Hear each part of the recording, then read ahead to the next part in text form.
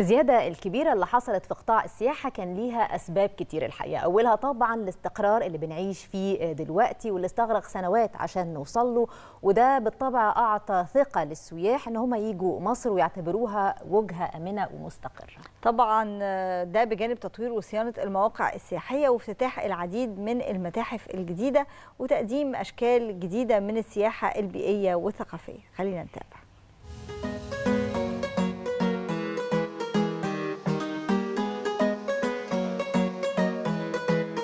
شهد قطاع السياحة في مصر نمواً ملحوظاً في السنوات الأخيرة بسبب عدد من العوامل أهمها الاستقرار الأمني والسياسي ما أدى لاستعادة ثقة السياح الدوليين في مصر كوجهة سياحية آمنة. كما قامت مصر بجهود كبيرة في تطوير وصيانة المواقع السياحية والمنشآت السياحية، وتم ترميم العديد من المعابد الفرعونية الشهيرة مثل معبد الكرنك ومعبد الأقصر، وتم تحسين بنية الفنادق والمنتجعات السياحية لتلبية احتياجات الزوار الدوليين. وشهدت مصر افتتاح العديد من المتاحف الجديدة والمعارض الثقافية مثل متحف الحضارة المصرية الجديد في القاهرة ومتحف سوهاج ومتحف شرم الشيخ وقصر البارون. بالإضافة إلى ذلك تم العثور على اكتشافات أثرية هامة بالأقصر وأسوان وسقارة.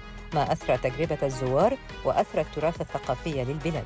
وقد عملت مصر على تنويع منتجاتها السياحية وتم تقديم أشكال جديدة من السياحة البيئية والثقافية. كما شهدت البنية التحتية للسياحة في مصر تحسينات كبيرة بما في ذلك تطوير المطارات والموانئ والمواصلات العامة وهو ما سهل وصول السياح إلى الوجهات السياحية بسهولة وراحة.